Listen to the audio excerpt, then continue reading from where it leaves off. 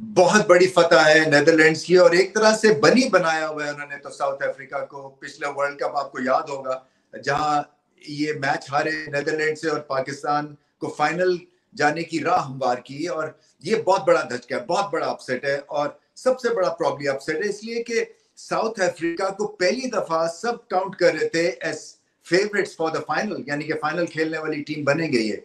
मगर इसी वजह से साउथ अफ्रीका को रेट नहीं करते हैं, क्योंकि मैच ऐसे हारते हैं जो कि किसी को हारने नहीं चाहिए।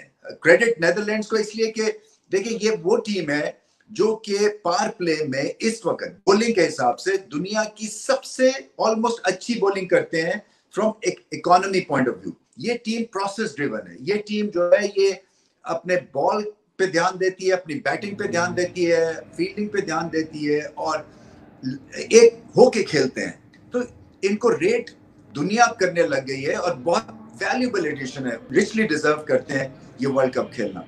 तो अब हम चलते हैं स्कॉट एडवर्ड्स देखिए, कप्तानी शानदार करते हैं और आज जो वो बैटिंग कर गए हैं मतलब 110 पे 120 पे कहानी खत्म थी। नेदरलैंड्स की छह विकेटें गिरी हुई थी। उसके बाद उन्होंने जो हिटिंग की है और पुर एतमाद बैटिंग की है और उसके अलावा जो ये कप्तानी करते हैं टाइमली चेंजेस हैं फ़ील्ड पोजीशंस बहुत अच्छी हैं। आगे रखते हैं फ़ील्ड को सर्कल में ताकि एंगल्स काट सकें। और समझदार हैं, थोड़ी बात करते हैं, मगर अकल की बात करते हैं और पीछे से बिल्कुल ऐसे लगता है जैसे कि कोई धीमे अंदाज की मुझे विलियमसन की याद आ जाती है जब ये कप्तानी कर रहे होते हैं।